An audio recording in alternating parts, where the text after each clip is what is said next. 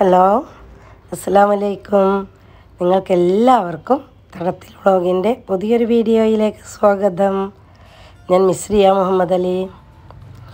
നമ്മൾ നമ്മളെ ചെടികൾ ഒരു ഭാഗത്തുള്ളത് മുഴുവൻ നന്നാക്കി വെക്കണം കേട്ടോ. അപ്പോൾ ചെടികൾ ഇങ്ങനെയാണ് നിൽക്കുന്നത്. നിറയെ പുല്ലൊക്കെ മുളച്ച് ഒക്കെ ആയിരുന്നു. അപ്പോൾ ആ സ്റ്റാൻഡ് വന്നൊക്കെ നമ്മൾ വേറെടുത്ത് ഓരോരോ ഭാഗം ഓരോരോ ഭാഗം ക്ലിയറാക്കി കൊണ്ടുവരാം കേട്ടോ. മേലത്തതൊക്കെ ഇങ്ങോട്ട് എടുത്ത് വെച്ചതാണ്. ഫുള്ളും കേട് വന്നിട്ടുണ്ട് ഉണങ്ങിയതുണ്ട് ചട്ടി മാത്രം നിൽക്കുന്നതുണ്ട്. പിന്നെ എന്താ കറുത്ത കരിമ്പനെ പോലെ ഒരു അസുഖം വന്നിട്ട് ഇതാ ഇതുപോലെ വന്ന് നിൽക്കുന്നതുണ്ട്. ചീഞ്ഞു പോയതുണ്ട്. മുരട് മൊത്തം ചീഞ്ഞങ്ങാണ്ട് അടിയിൽ നിന്ന് ഇങ്ങനെ കൊമ്പും കോലുമായിട്ട് അതിമേൽ പുതിയ തൈകൾ വന്ന് നിൽക്കുന്നുണ്ട് അങ്ങനെയുള്ളതൊക്കെയാണ് കേട്ടോ. പിന്നെ നമ്മൾ ചെയ്യുന്നത് എന്താണെന്ന് വെച്ചാൽ ആദ്യം തന്നെ വളം കൊടുക്കുകയാണ്.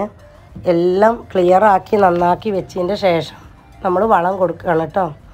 ഒന്ന് എന്താ പറയുക വെള്ളമില്ലാഞ്ഞിട്ട് തണ്ടുകളൊക്കെ ഇങ്ങനെ ചുക്കി ചുളിഞ്ഞ് നല്ല സൂക്ഷിച്ച് നിൽക്കുകയാണ് ലീഫൊക്കെ കൊഴിഞ്ഞിട്ട്. അപ്പോൾ അതിന് നമ്മൾ ആദ്യം ചെയ്യേണ്ടത് എന്താ വെച്ചാൽ ശീമക്കൊന്നന്റെ ഇല കൊടുക്കുകയാണ് വളമായിട്ട് അറിയാലോ എല്ലാവർക്കും അറിയാലോ ഈ ഇലനെ പറ്റിയില്ലേ? ഇത് ശീമക്കൊന്നന്റെ ഇലയാണ്.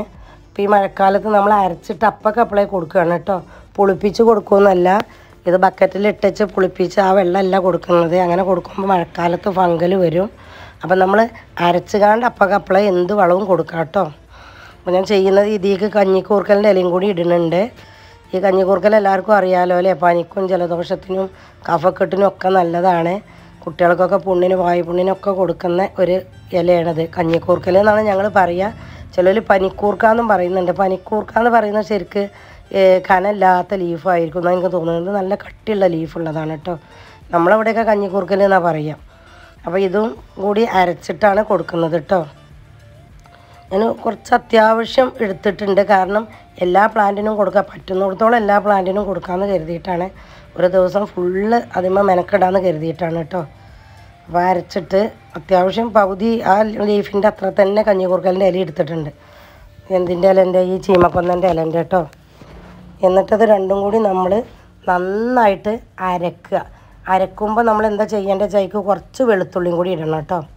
രണ്ട് വെളുത്തുള്ളിന്റെ പോണയും കുറച്ച് മഞ്ഞപ്പൊടിയൊക്കെ ഇട്ടിട്ടാണ് അരക്കുന്നത് കേട്ടോ. നല്ലോണം പിന്നെ നെയ്സാക്കി അരച്ച് കഴിഞ്ഞാൽ അരിക്കേണ്ട ആവശ്യമൊന്നുമില്ല. നമ്മൾ സ്പ്രേ ചെയ്യല്ല മുക്കി വെക്കുക ചെയ്യുന്നത് കേട്ടോ. ഇതിപ്പോൾ എന്തിനൊക്കെയെന്ന് ചോദിച്ചാൽ പ്ലാന്റ് ഇങ്ങനെ ഉണങ്ങി നിൽക്കുന്ന മാതിരി ഉണ്ടല്ലോ. അപ്പോൾ ഒരു ആ പ്ലാന്റ് നമ്മൾ ഈ പിന്നെ ചീമക്കൊന്നന്റെ ഇല കൊടുത്തു കഴിഞ്ഞാൽ പ്ലാന്റുകളൊക്കെ നല്ല ഹെൽത്തി ആയിട്ട് നിൽക്കും കേട്ടോ തണ്ടൊക്കെ പെട്ടെന്ന് വീർത്ത് വരും. ഈ ചുക്കി ചുളിഞ്ഞ് നിൽക്കുന്ന തണ്ടന്നെ ചെറിയ ലീഫ് വന്ന കിക്കീസ് ഉണ്ടാവുമല്ലോ അതിന്മേ അതൊക്കെ പെട്ടെന്ന് വളർച്ച ഉണ്ടാവും. മഴക്കാലത്ത് തന്നെ കൊടുക്കുകൊണ്ട് തന്നെ പ്രത്യേകിച്ചും ഒരു വളർച്ച അധികം ഉണ്ടാവും കേട്ടോ ഇതിലേക്ക് വെളുത്തുള്ളിയാണ് പിന്നെ നമ്മൾ ഇടുന്നത് ഒരു കയ്യിൽ ഫോൺ മൊബൈൽ പിടിച്ചിട്ട് അതങ്ങനെ കാണിക്കാനേ പറ്റുള്ളൂ.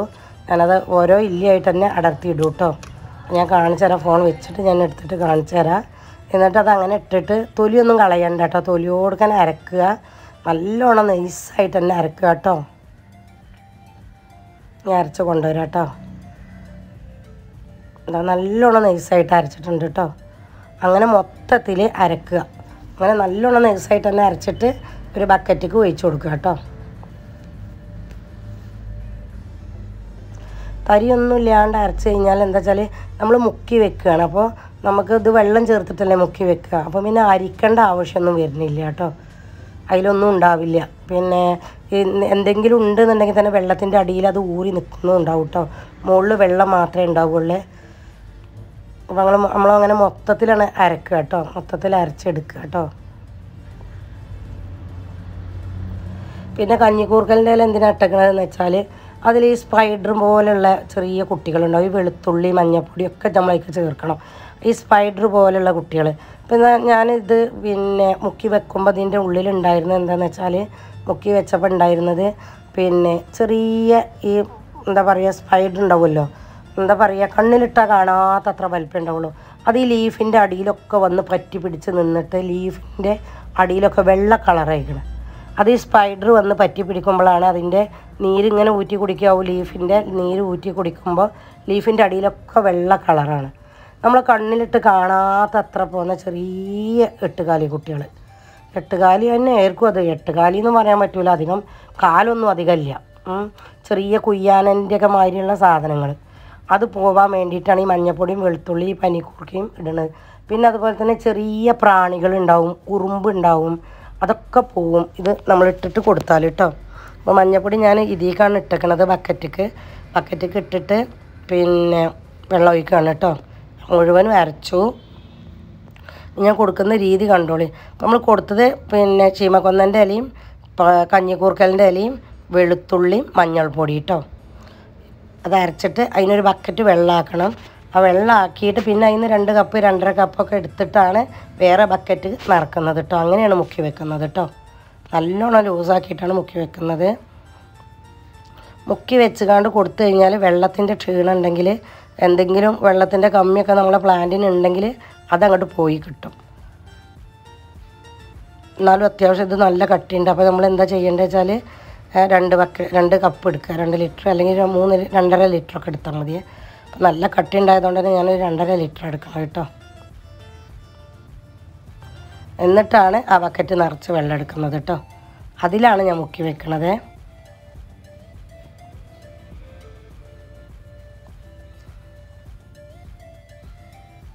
അപ്പോൾ എന്താ ഈ പ്ലാന്റ് ഒക്കെ നല്ല വൃത്തിയായിട്ട് നിൽക്കുക. എല്ലാ പ്ലാന്റും എടുത്തുണ്ടെന്നിട്ട് പ്ലാന്റിൽ പിന്നെ പ്രാണികൾ കടിച്ചിട്ട് മുട്ടും പൂവും ഒക്കെ വെട്ടിക്കളയുക. എല്ലാം വെട്ടിക്കളയുക. കാരണം അതിലൊക്കെ അതിൽ ഈ പുഴു മുട്ടിട്ടുകാണ്ടുള്ള പുഴു ഉണ്ടാവും.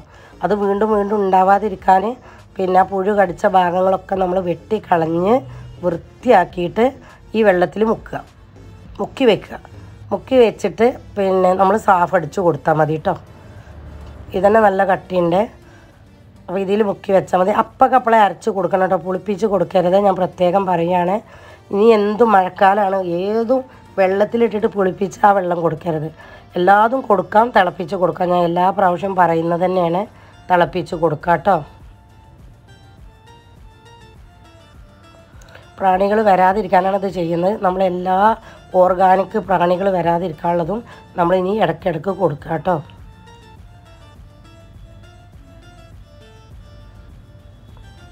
ഇതിൽ മുക്കി വെച്ചപ്പോൾ വെള്ളം അധികമായിട്ട് വെള്ളം പുറത്തേക്ക് പോകുന്നുണ്ട് അതിന്റെ പതഞ്ഞ് പൈപ്പ് കൊടുത്ത് പൈപ്പിൽ വെള്ളം കൊടുത്തുകൊണ്ട് പതഞ്ഞ് വന്നേക്കാം. അപ്പോൾ ഒരു പാട്ട മുക്കി വെക്കുക കേട്ടോ. ഒരു പാട്ട മുക്കി വെച്ചിട്ട് ചെയ്യുന്നത് ഒന്ന് മാത്രം ഞാൻ കാണിച്ചു തരാം. അതുപോലെ എല്ലാതും ചെയ്യുകയാണ് കേട്ടോ മൊത്തത്തിൽ ഒരു ദിവസത്തെ പണി ഉണ്ടാവും ഒരു ഭാഗം നന്നാക്കാൻ. കുറേശ്ശെ കുറേശ്ശെ എടുക്കാമെന്നാണ് കരുതിയത് ഏതായാലും അങ്ങനെ ഫുള്ളാണ് മുക്കി വെക്കുക കേട്ടോ വെള്ളമൊക്കെ ഒന്ന് നല്ലോണം കുടിക്കട്ടെ. വളമൊക്കെ ഒന്ന് വലിച്ച് പിടിച്ച് അത് വേരൊക്കെ ഒന്ന് നല്ലോണം ഇതായി അതിന്റെ തണ്ടൊക്കെ കണ്ടില്ല? അങ്ങനെ ഉണങ്ങി നിൽക്കുന്ന മാതിരി നിൽക്കുന്നു. അതൊക്കെ ഒന്ന് വീർത്ത് വരണ്ട അപ്പോൾ ഒരു അഞ്ച് മിനിറ്റ് ഒരു അഞ്ച് ആറ് ഏഴ് മിനിറ്റൊക്കെ അതിൽ ഇരുന്നോട്ടെ അതിനൊന്നും കുഴപ്പമില്ല കേട്ടോ ഞാൻ അങ്ങനെയാണ് ചെയ്യണത് ഇനി ഈ പൂ പൂത്ത തണ്ടുകളും ഈ കറുത്ത കളറുള്ള ഭാഗം ഇലകളും ഒക്കെ നമ്മളൊന്ന് വെട്ടിക്കളയുക. എന്നിട്ട് ആ കറുപ്പ് ഭാഗമൊക്കെ ഒന്ന് ഒരു സ്പോഞ്ച് എന്തെങ്കിലും ഇട്ടൊന്ന് വരച്ച് ആ ചളിയൊക്കെ ഒന്ന് കളയുക. പിന്നെ ക്യാമറ പിടിച്ചക്കാണ്ട് വെട്ടാൻ കഴിയണില്ല കേട്ടോ. അപ്പം ഞാനതൊക്കെ വെട്ടിയിട്ട് ക്ലിയർ ആക്കിയിട്ട് ചെയ്തുതരാം. ഇനി നമ്മൾ കൊടുക്കുന്നത് സാഫാണ്. എന്റെ സ്പ്രെയറൊക്കെ നിൽക്കുന്നു കേട്ടോ.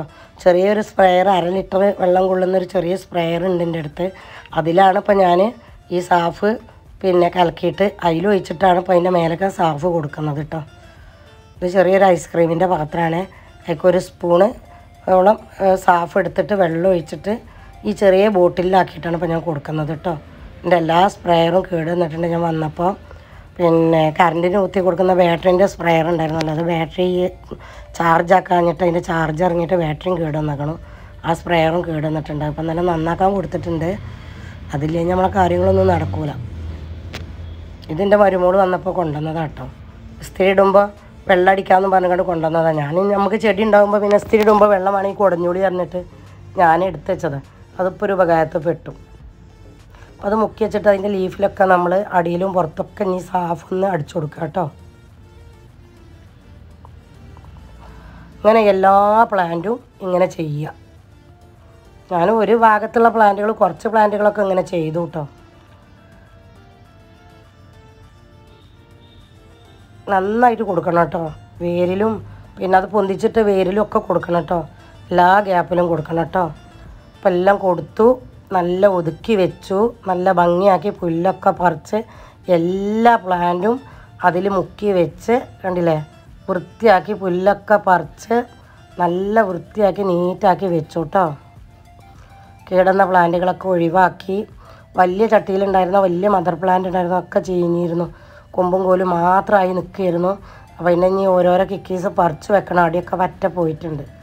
അപ്പോൾ ഈ ഒരു മൂന്ന് സ്റ്റാൻഡ് സെറ്റ് ചെയ്ത് വെച്ചു കേട്ടോ ഒരു ദിവസത്തെ പണിയാണിത്. ഫുള്ള് രാവിലെ ഇറങ്ങിയിട്ട് വൈകുന്നേരം വരെ നിന്നു.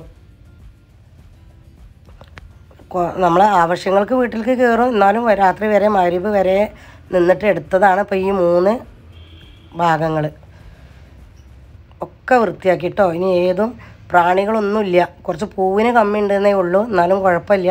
പൂവൊക്കെ ഇനി നമുക്ക് ഉണ്ടാക്കിയെടുക്കാമല്ലോ എല്ലാം ക്ലിയറായിട്ടോ ഈ ഒരു ഭാഗം മൂന്ന് ഭാഗം ക്ലിയറായി ഇനി മുൻഭാഗം സൈഡ് ഭാഗമൊക്കെ ഉണ്ട്. ഇനി നന്നാക്കാൻ ഒന്ന് രണ്ട് ദിവസം കൂടിയും പിടിക്കും. ഇതേമാതിരി എടുക്കണമെങ്കിൽ ഒന്ന് രണ്ട് ദിവസം കൂടിയും പിടിക്കും. മുകളിലും ഉണ്ട് കേട്ടോ അത് വേറെ അത് പറ്റ കീടന്ന് പോയി മുകളിലത്തൊക്കെ. അത് പിന്നെ ആരെങ്കിലും വിളിച്ച് നന്നാക്കേണ്ടി വരും. കുറച്ച് ഗ്രൗണ്ട് ഓർക്കിഡ് വിരിഞ്ഞിട്ടുണ്ട് കേട്ടോ ഒന്ന് രണ്ട് ചട്ടിയിൽ മഞ്ഞയും ഈ ഒരു കളറും നല്ല ഭംഗിയുള്ളൊരു പൂവാണ് കേട്ടോ ഇത്. ഒരു മഞ്ഞയും ഇതും നിറയെ വിരിഞ്ഞിട്ടുണ്ട്. കുറേ ഗ്രൗണ്ട് ഓർക്കിഡ് പോയിട്ടോ ഒരുപാട് ചട്ടിയത്ത് പോയിക്കണം. അപ്പോൾ ഇത്രയൊക്കെയാണ് നമ്മളെ വിശേഷങ്ങൾ കേട്ടോ. അപ്പോൾ ഈ ഭാഗം നന്നാക്കിയത് നിങ്ങളൊന്ന് കാണിക്കാൻ ഞാൻ കൊടുത്ത വളങ്ങളും നിങ്ങളൊന്ന് കാണിക്കാമെന്ന് കരുതി. പിന്നെ ഇപ്പം ഈ ചെടികളൊക്കെ നമുക്ക് പൂത്തുകാണ്ട് കാണാമല്ലോ അപ്പോൾ ഇനി വരുമ്പോഴത്തിന് പൂവൊക്കെ ഉണ്ടാവും നല്ല വളമൊക്കെ കൊടുത്ത് ഒക്കെ ഉഷാറാക്കുമ്പോൾ നല്ല പൂക്കളും ഉണ്ടാവും കേട്ടോ okay thank you for watching